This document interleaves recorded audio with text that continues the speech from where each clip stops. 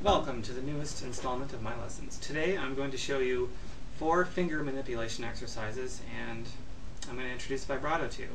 So to start out with the finger manipulation exercises, finger manipulation being really important for people that play piano, people that play guitar, or any stringed instrument. It's good to be able to manipulate each of your little digits independently, and these are going to help you do that more. Alright, um, the fingers, pretend they're numbered. The index being 1, 2, 3, and the pinky has 4. And the frets, you can start anywhere you want for these exercises, but to keep everything uniform, I'll just start again on the 5th fret, 6th string, that A note down there. So, there's nothing tricky about the fingering here. Four fingers, a span of four frets, each finger goes on its respective fret. This first pattern is going to be 1, 3, 2, 4. So 1, 3, 2, 4. If we're starting on the 5th fret, it's going to be 1 with the index finger, 3 with the ring finger, 2 with the middle, and 4 with the pinky.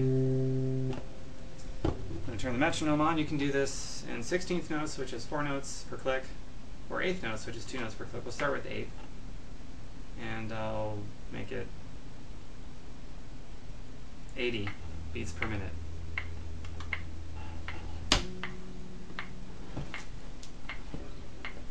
Here's what that pattern would sound like. An eighth notes at 80 beats per minute.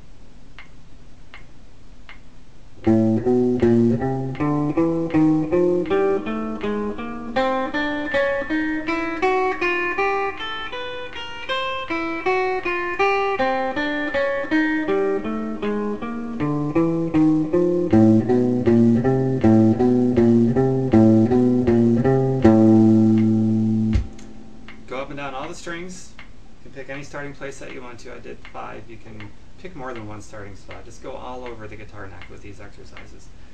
The next one, I'll use the same four frets to make the learning easier. It's going to be 4, 2, 3, 1. So it's going to sound like this. And it's like the other one, but it's the opposite of what we just did. So I'll play it with the metronome again.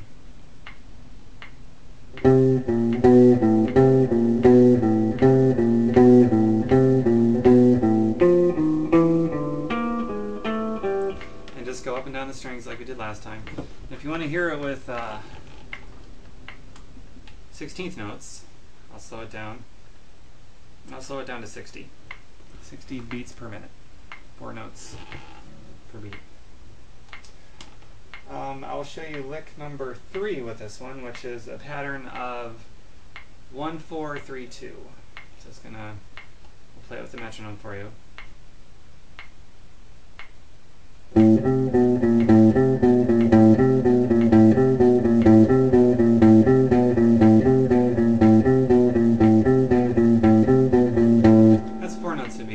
Continue through all the strings. And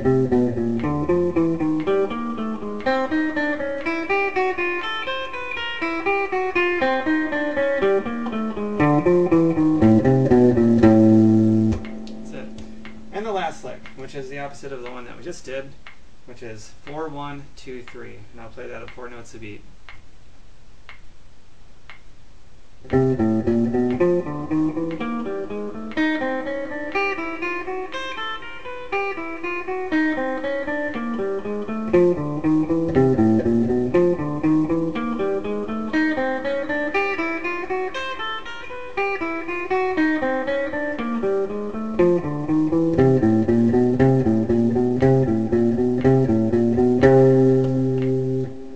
Probably want to play it even slower than that when you first get started, just so that your fingers get used to this. These are odd combinations if you're not used to them, but practice them every day, and like with everything else, it will gradually get easier. And when stuff like this becomes easy, this basic stuff, then it makes the learning process for other things a lot, a lot easier for you. So do your homework now, and you'll be thankful you did later. All right, the art of vibrato. I want you to spend a lot of time on this because vibrato is really uh, it's important so that you sound like you. Everyone has their own vibrato, I guess. Um, you can tell a lot of guitar players apart just simply by the way they attack the string with their pick, or the way they bend, or especially their vibrato. And vibrato, it's this thing here. Here's without vibrato. And that's going to sound just like that no matter who plays it, unless the sound is being produced differently to sound different, but anybody can, can play that. This, or this, or this, doesn't matter what note I play, I should be able to play all of them with really good vibrato, but that's going to be more unique to me, and yours is going to be unique to you. You just have to make sure that it sounds good, and it takes practice. Um, when I first started learning vibrato, it, it was very off sounding. So it's just something you got to work at. It's it's this thing here, and it can be done at different speeds. Usually the slower or more moderate ones sound good on guitar, but you can also do fast ones like this. And sometimes a piece of music might call for that, or a slow one.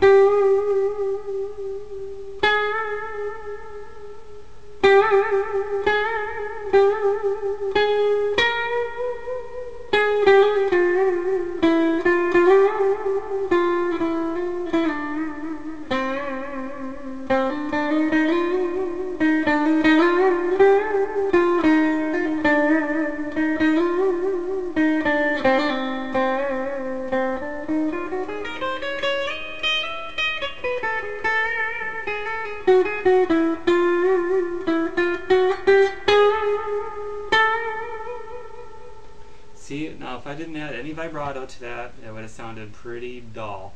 It was a very, I just made that up. Very simple phrasing, and it sounded really good because of the vibrato that I added to it, my own flair to it. And you can add bends, you can add vibratos, and you can attack the string differently with your pick, but work on your vibrato. And one good way to work on it is pick a spot on the guitar neck anywhere. I'll just go here.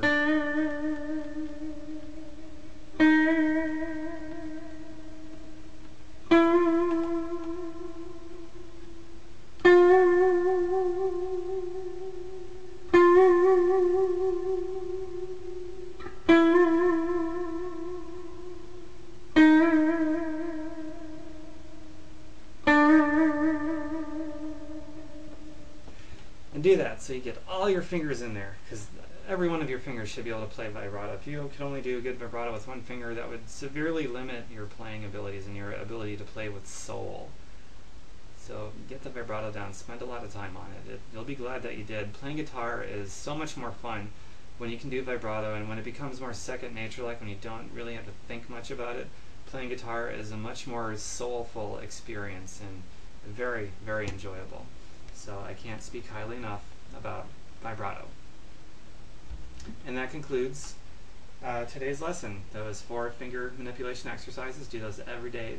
Those four exercises are a great one to write down in your journal so that you can uh, document your progress on that and practice your vibrato. Till the next lesson.